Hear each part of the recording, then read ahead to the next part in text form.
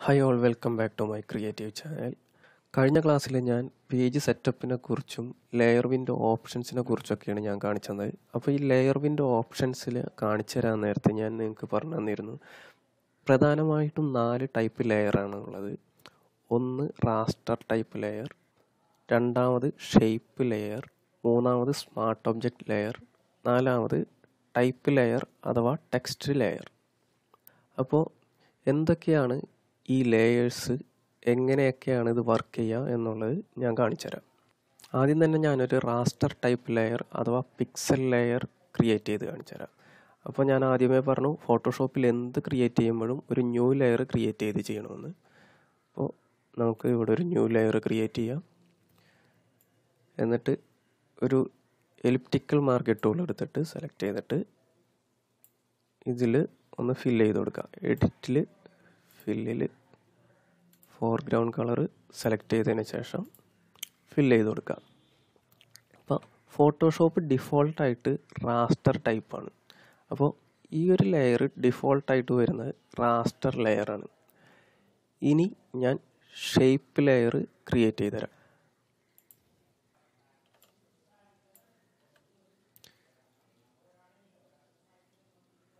ഇത് ഞാൻ ക്രിയേറ്റ് ചെയ്തത് ഈ ഒരു എലിപ്സ് ടൂൾ യൂസ് ചെയ്താണ് അപ്പോൾ ഈ ഷേപ്പ് ലെയർ ഡിഫോൾട്ടായിട്ട് വരുന്നത് വെക്റ്റർ ലെയർ ആയിട്ടാണ്. അപ്പോൾ ഷേപ്പ് ലെയർ ക്രിയേറ്റ് ചെയ്യാൻ നേരത്ത് നമ്മൾ ഇവിടെ ഓട്ടോമാറ്റിക്കലി ഒരു ന്യൂ ലെയർ ഇവിടെ ജനറേറ്റ് ആവുകയാണ് ചെയ്തത്. അതായത് ന്യൂ ലെയർ നമുക്ക് ക്രിയേറ്റ് ചെയ്ത് കൊടുക്കേണ്ട ആവശ്യമേ ഇല്ല. അപ്പോൾ ഇനി എന്താണ് ഈ റാസ്റ്റർ ലെയറും ഷേപ്പ് ലെയറും തമ്മിലുള്ള വ്യത്യാസം എന്ന് നിങ്ങൾക്ക് ഞാൻ കാണിച്ചു തരാം ആദ്യം തന്നെ നമുക്ക് ഈ റാസ്റ്റർ ലെയറിനെ ഒന്ന് എക്സ്പോർട്ട് ചെയ്യാം.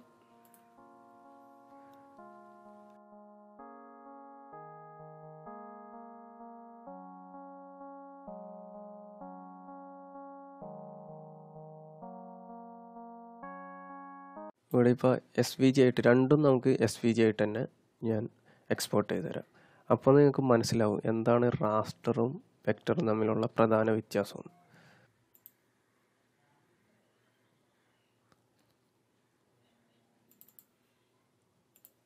ഇവിടെ നമുക്ക് റാസ്റ്റർ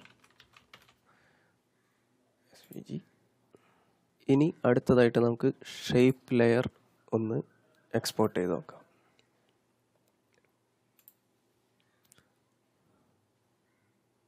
അതും ഞാനിവിടെ എസ് വി ജി ആയിട്ട് തന്നെയാണ് എക്സ്പോർട്ട് ചെയ്യുന്നത്.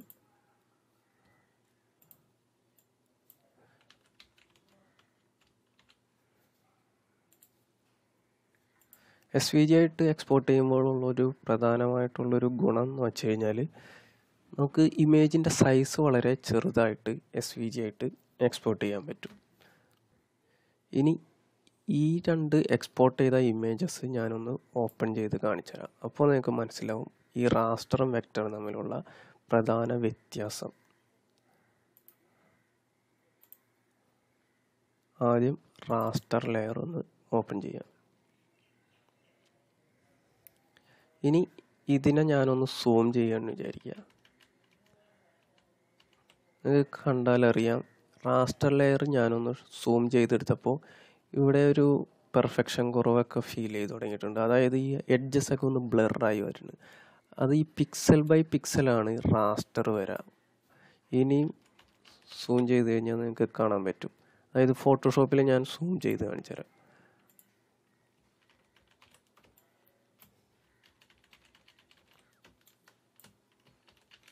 കണ്ടോ.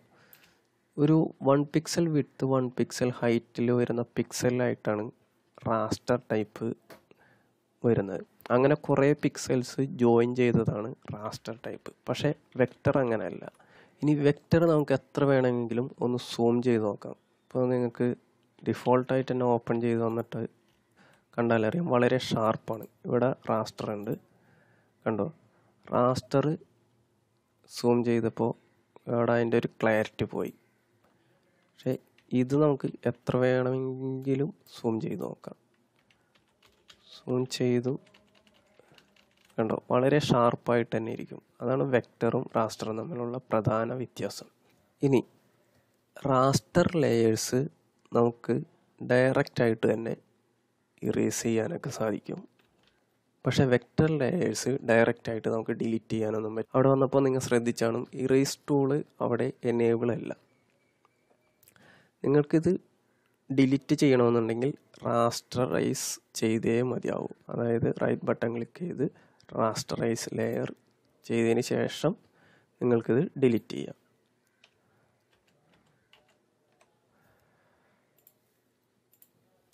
അപ്പോൾ നമ്മൾ റാസ്റ്റർ ലെയറും വെക്റ്റർ ലെയറും എന്താണെന്ന് നിങ്ങൾക്ക് ഏകദേശമൊക്കെ മനസ്സിലായിട്ടുണ്ടാവും എന്ന് വിചാരിക്കണം. ഇനി അടുത്തതായിട്ട് ടൈപ്പ് ലെയർ അഥവാ ടെക്സ്റ്റ് ലെയർ. അത് വേറെ ഒന്നുമില്ല ഇത് മെയിനായിട്ട് യൂസ് ചെയ്യുന്നത് ടെക്സ്റ്റിന് വേണ്ടിയിട്ടാണ്. അപ്പോൾ ഈ ടെക്സ്റ്റ് ലെയറിലാണെന്നുണ്ടെങ്കിലും നിങ്ങൾക്ക് ഡയറക്റ്റായിട്ട് ഇറേസ് ചെയ്യാനോ ബ്രഷ് ചെയ്യാനോ പറ്റില്ല.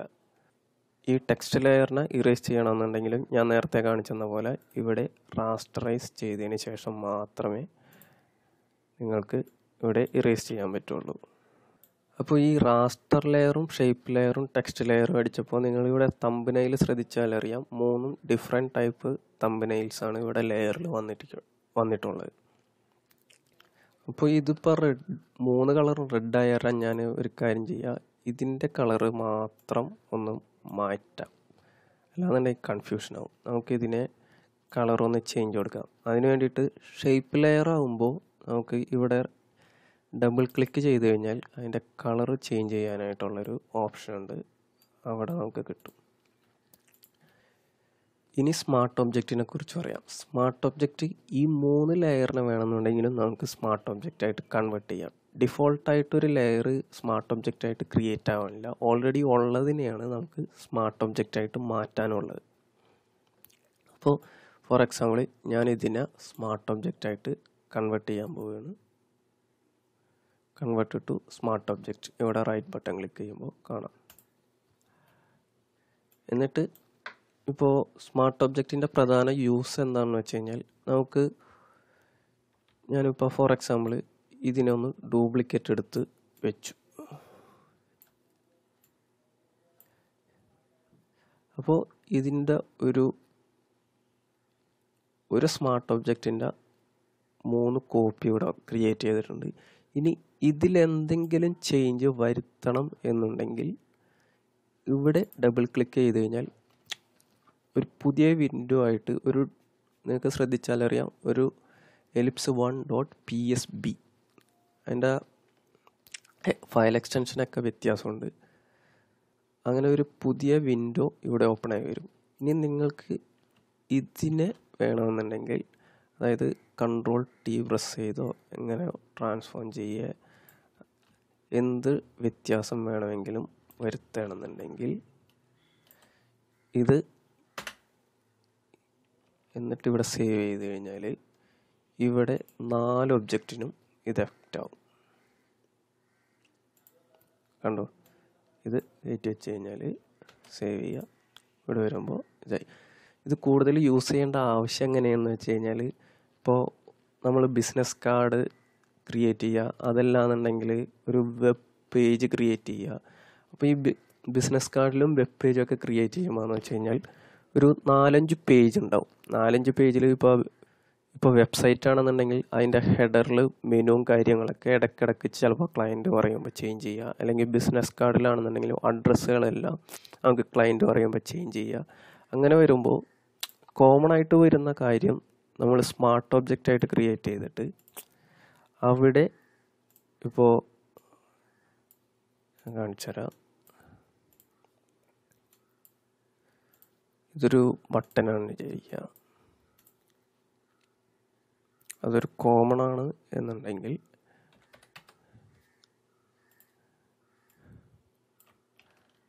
ഇങ്ങനെ സ്മാർട്ട് ഒബ്ജക്റ്റ് ആയിട്ട് ക്രിയേറ്റ് ചെയ്യാൻ എല്ലായിടത്തും അത് എഫക്റ്റ് ആവും. അതിന് അങ്ങനെയുള്ളൊരു എളുപ്പത്തിനൊക്കെ വേണ്ടിയിട്ടാണ് നമ്മൾ സ്മാർട്ട് ഒബ്ജക്റ്റ് യൂസ് ചെയ്യുന്നത്. അപ്പോൾ ഈ ഒരു പോർഷൻ നിങ്ങൾക്ക് എല്ലാവർക്കും ഇഷ്ടമായി എന്ന് വിചാരിക്കുന്നു. അപ്പോൾ ഞാൻ ഇനി അടുത്ത ടോപ്പിക്കായിട്ട് വീണ്ടും അടുത്തന്നെ വരാം. അപ്പോൾ നിങ്ങൾ എനിക്ക് വേണ്ടി ചെയ്യേണ്ട ഒരു കാര്യം എന്ന് വെച്ച് കഴിഞ്ഞാൽ ദയവായി എന്റെ ചാനൽ ഒന്ന് സബ്സ്ക്രൈബ് ചെയ്യുക. സബ്സ്ക്രൈബ് ചെയ്യാൻ നേരത്ത് ബെൽ ബട്ടൺ കൂടി ഒന്ന് പ്രസ് ചെയ്ത് കഴിഞ്ഞാൽ ഞാൻ അപ്ലോഡ് ചെയ്യുന്ന എല്ലാ വീഡിയോസും നിങ്ങൾക്ക് കിട്ടുന്നതായിരിക്കും.